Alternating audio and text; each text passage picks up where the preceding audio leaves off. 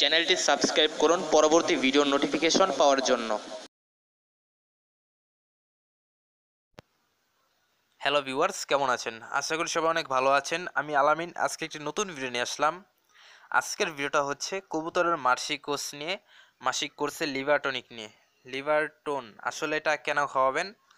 এটার প্রয়োজনীয়তা এবং কতটুকু পরিমাণে খাওয়াবেন, কীভাবে খাওয়াবেন? সম্পূর্ণ বিষয়টা যদি জানতে চান, তাহলে পুরো ভিডিওটা দেখুন। ভিডিওটা টেনে দেখলে আপনি কিছুই বুঝতে পারবেন না।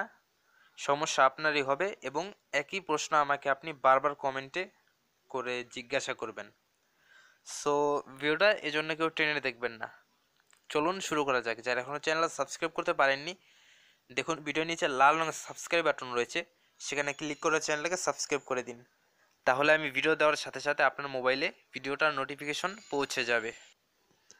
লিভারটন কবুতরকে কেন খাওয়ানো হয়? কবুতরের লিভারে যত রকমের সমস্যা আছে, সব সমস্যাগুলো দূর করার জন্য কবুতরকে লিভারটনটা খাওয়ানো হয়ে থাকে। কবুতরের লিভারের সমস্যাগুলো দূর করার জন্য অথবা ভবিষ্যতে যাতে কোনো সমস্যা না হয়, এর জন্য আমাদের, আমাদেরকে মাসিক কোর্স করানো, করা, করাতে হয় কবুতরকে লিভারটন দিয়ে। আমরা কিন্তু কবুতরকে প্রায় নানান ধরনের ঔষধ খাইয়ে থাকি। এই ঔষধের কিন্তু একটা সাইড ইফেক্ট আছে। সো এজন্যই সাধারণত কবুতরের শরীরে সাইড সাইড ইফেক্টগুলো কিন্তু জমা হয়ে থাকে। এজন্যই কবুতরকে লিভাটন দিয়ে লিভাটনিক করানো উচিত।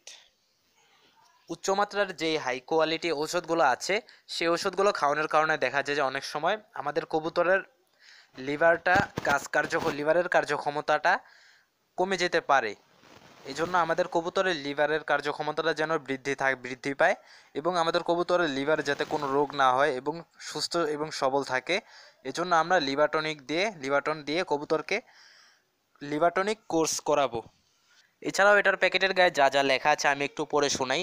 কবুতরের লিভারকে স্বাস্থ্যবান এবং কার্যক্ষম ও সুরক্ষিত রাখতে সাহায্য করে।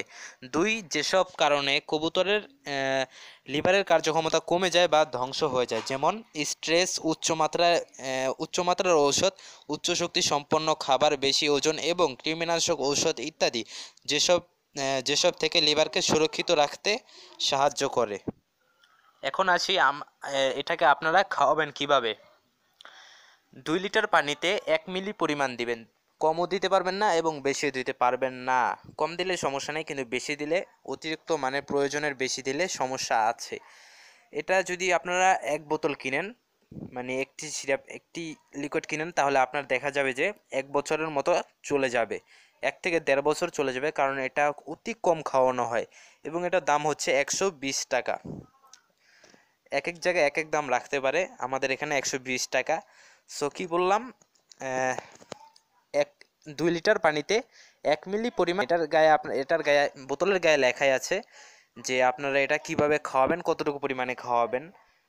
মূলত এই নিয়েই ছিল ভিডিওটা। ভিডিওটা যদি আপনাদের কাছে ভালো লেগে থাকে বা কোনো কাজ আসে, তাহলে প্লিজ ভিডিওতে একটা লাইক দিন। আর পরবর্তী ভিডিওগুলো পাওয়ার জন্য হিট দ্য সাবস্ক্রাইব বাটন